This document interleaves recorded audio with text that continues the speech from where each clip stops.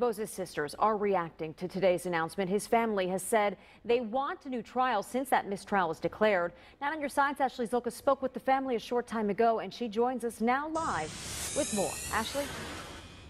Well, Julie, it was inside this courthouse where a jury deliberated for 24 hours before they announced they were deadlocked. Now, whether Tensing is found guilty or not guilty this time, Sam's sisters tell me any verdict is better than no verdict.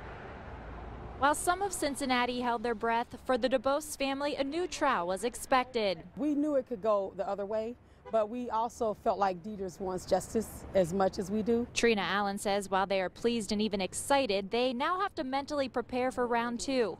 The first trial took a toll on the entire family, especially Sam's mother. We didn't want her to stand there. That's so the footage, those those pictures and stuff, I think was extremely difficult for my mom.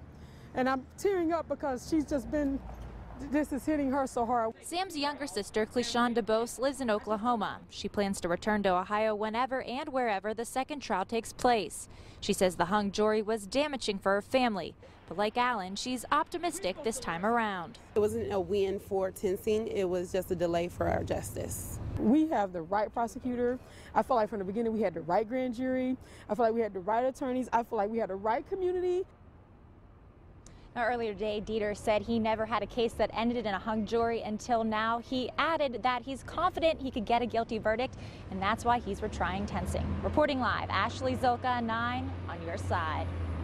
And 9 on your side will be at Monday's hearing. As soon as Judge Shanahan makes a decision whether to move this trial, we will let you know on air, online, and with a push alert to your smartphone.